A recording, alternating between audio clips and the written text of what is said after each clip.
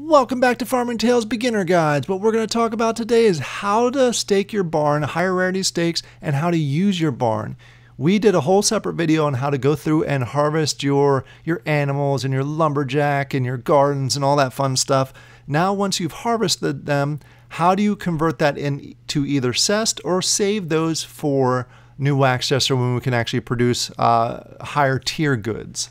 So let me go ahead and show you that. What we're going to do is we're, we're in game now and we run over to the barn.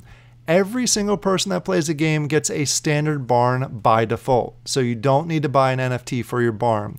There, there are additional barns that are higher rarities that give you more space. If you look over here, you'll see that right now, as far as my barn goes, I only have 100 space. So once I reach that cap, and if I try and continue to harvest, I lose the products. It doesn't give me an error.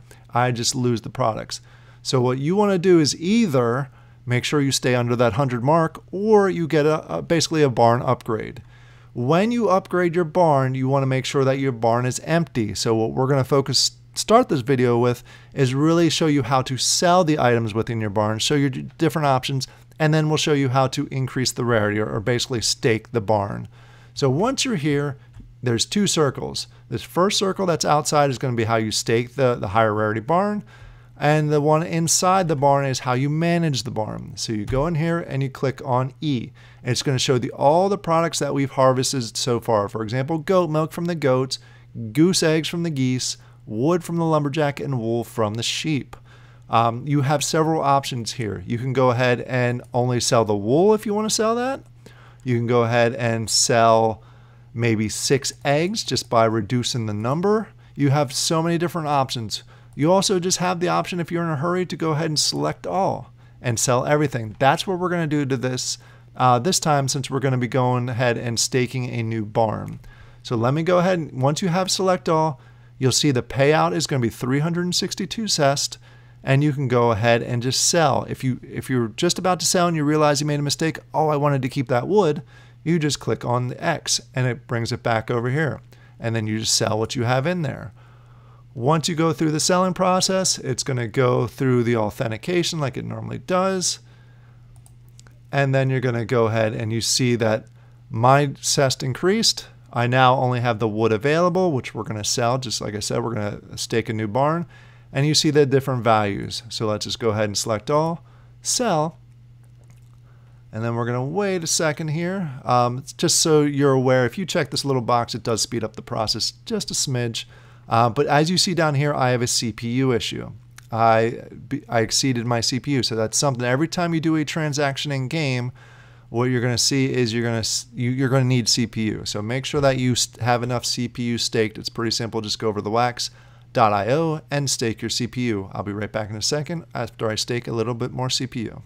All right, we are back. We're going to go ahead and give it another shot now that I have a little bit more in there and you see it sold. So now I have 740 uh, SEST available. I can go through and I can stake that. I can use that for crafting. I can withdraw it uh, for any nifty sales that they may have coming up. Uh, just a lot of different options that you can do with that. If I if I go ahead and stake it, you're going to go ahead and see that CBIT uh, will go up over time. There is a small fee also for using the barn CBIT wise, so keep that in mind too. It's basically the fee charged to, to ship the products to wherever you're selling it to. So now that we have the barn empty, we're going to go through the process of staking the higher rarity barn. If we go in here, we click on E, and then we're just going to go ahead and stake this by clicking on empty and then clicking on the barn. And there we go.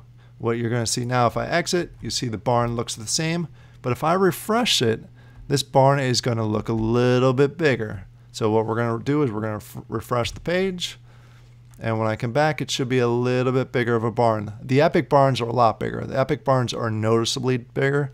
Um, between the the rare and the standard, it's just a little bit taller. So I'm, I'm not sure if you've noticed the difference. It is small, uh, but there is a small difference to the barn now. It shows it's just a little bit bigger. You have two doors now instead of the one door, and it's a little bit deeper.